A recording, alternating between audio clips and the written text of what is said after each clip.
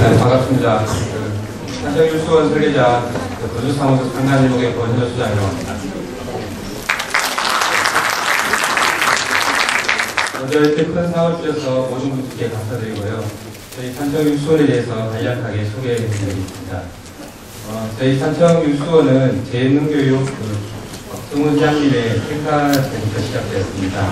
그 생각을 복원할 계획을 어, 수립하던 중에 너무 노후화되어서 어, 전반적으로 개축하고 새로운 시설로 탈바꿈하면서 어, 한옥문화 체험시설로 전체 시설을 조성하게 되었습니다. 어, 설계는 2010년부터 약 1년 6개월 정도 설계를 진행했었고요. 공사는 약 2년 정도의 공사 기간이 걸렸습니다. 어, 마지막까지 주연과 협판까지 그리고 내부의 시설의 소품까지 구성하느라 재능교육께서 많이 애려시켰고요. 어, 현재 올해 이렇게 대상을 받게 되어서 마지막 마무리에 영광스러운 어, 마음이 기쁩니다. 어, 산청유수원은 그 산청 지역에 있는데요. 이 지역이 산청 단계 마을입니다. 어, 이 지역에 많은 한옥들과 호텔들이 공존하고 있습니다. 지금 이 전체 이 형태의 지역에서 중간에 있는 부분이 산청 유수원입니다. 어, 다른 지역과 조금 차이가 나는 것은 평지 유형의 건물이고요. 어, 대치의 주안점은 현대 한옥 그 현대적인 부분도 있지만 우리나라 한옥의 지역적인 특성을 좀 살려서 어, 조성하는 게 주안점이 되었습니다. 그래서 초기부터 한옥에 대한 스터디를 아주 많이 했었고요. 그 많은 곳에 답사를 하면서 어, 전국 상류층 주택과 경남 지역 상류층 주택을 비교하면서 여러 가지 배치에서부터 어, 한옥 구조적인 부분, 평면까지 많은 반영을 하게 되었습니다. 어, 건물은 전체적으로 전경인데요. 건물은 총 9동으로 이루어져 있습니다. 그리고 가장 중요한 어, 마당은 어, 박반마당, 앞마당, 그다음 후정 이렇게 세 가지의 중요한 마당으로 구성되어 있고요. 설계 과정을 보면 하, 하부엔 다이아를 보시면 되는데요. 기존에 있던 고택의 유형이 있었습니다. 아, 그래서 너무나 습현 상태가 심하고 복원하기에는 쉽지 않아서 1차적인 계획안으로 다시 재조정을 하게 되었습니다.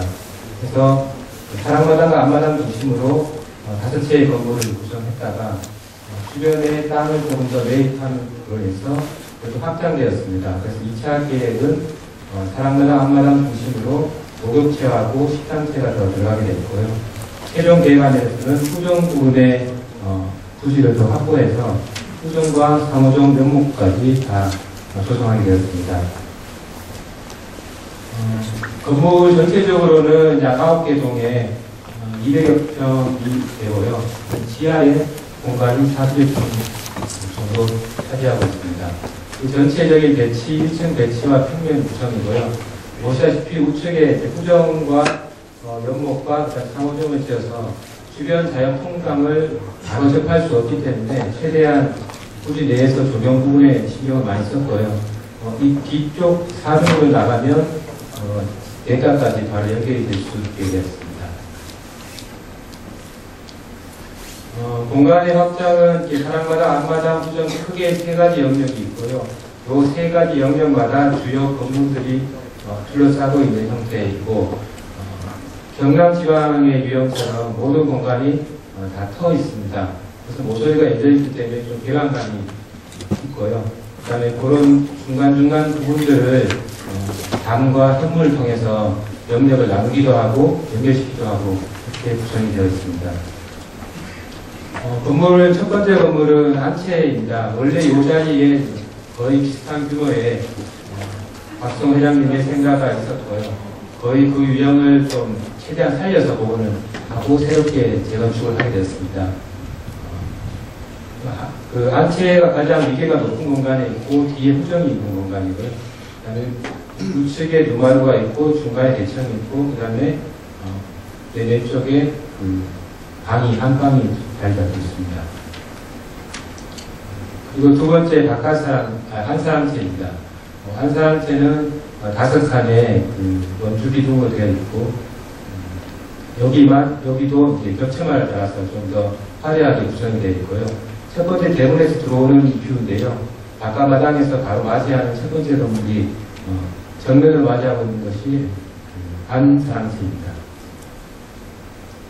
어, 다음은 제일 바깥에서 손님을 맞이할 수 있는 바깥사랑채입니다. 기역자 형태의 한옥이고요. 어, 끝부분에 그 12자짜리의 어, 누마루가 형성되어 있고 나머지 방이 4칸이 되어 있습니다.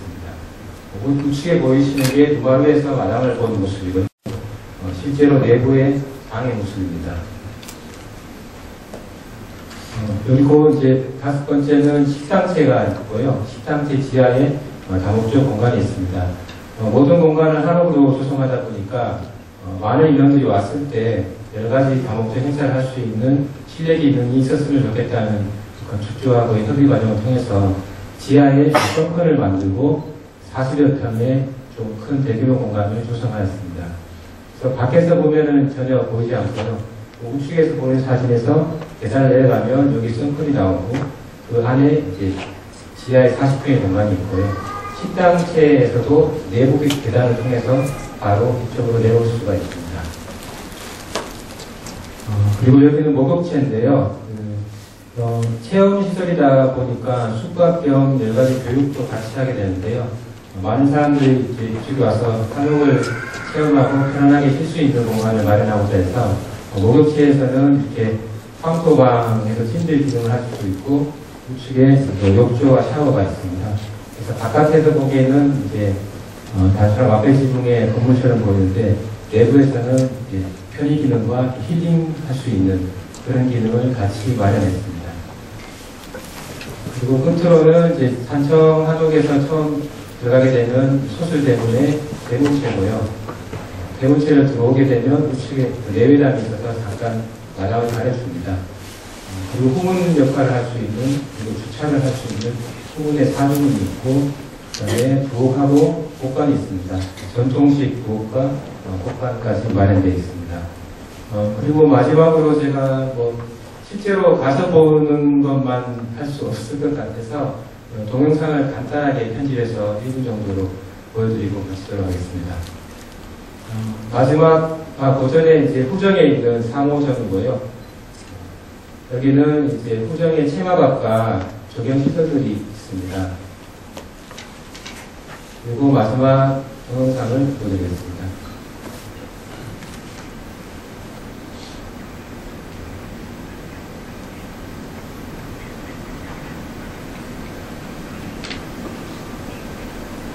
전체적으로 마을 중심에 자리 잡고 있고요. 우측에 낸가가 있습니다. 현관을 들어 대문을 열었을 때 첫 번째 보이는 내외담이고요.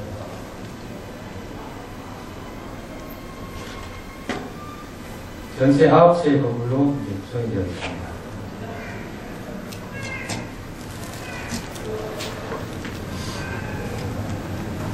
바깥 마당의 모습이고요. 어, 바깥 사- 사랑채의 모습입니다.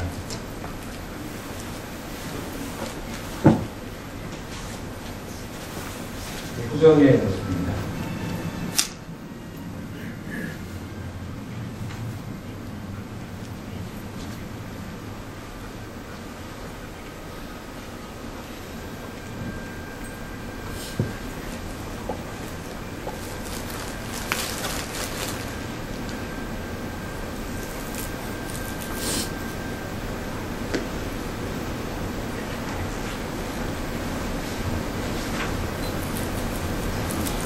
네, 여기까지 발표 마치겠습니다. 감사합니다.